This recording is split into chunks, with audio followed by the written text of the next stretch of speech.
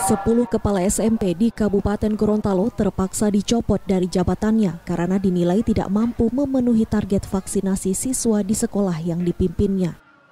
Dari evaluasi yang dilakukan, capaian vaksinasi yang dilakukan ke 10 kepala sekolah ini tidak mencapai 50 persen dalam waktu yang ditetapkan.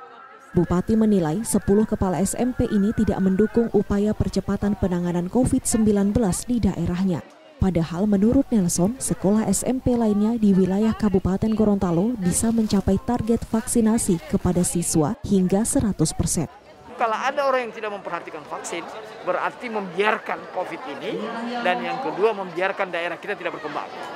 Maka salah satu punishmentnya adalah salah satunya kepala sekolah. Kenapa? Ada yang 100% bisa, ada 80%, kenapa dia di bawah 50%? Padahal anak didik itu kan di bawah koordinasi dia. Hanya sedikit. Berapa kursi Pak? Ada kurang lebih 10 orang.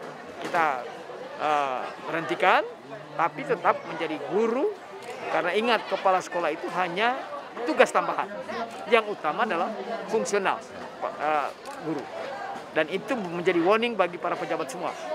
Untuk bagaimana mendorong COVID ini kita lawan, salah satunya melalui vaksin. Nelson menambahkan 10 kepala sekolah yang dicopot dari jabatannya tersebut dikembalikan menjadi guru sekolah. Saat ini capaian vaksinasi di Kabupaten Gorontalo sudah mencapai 67 persen.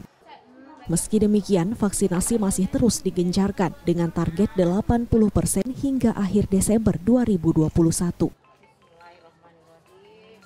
Mamat Kaida, Kompas TV, Gorontalo.